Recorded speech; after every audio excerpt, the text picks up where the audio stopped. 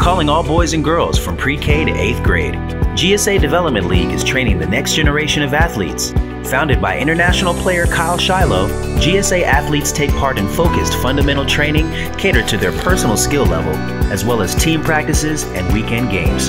Call today to learn more or sign up by visiting dignityhealthsportscomplex.com. GSA Development League, training the future.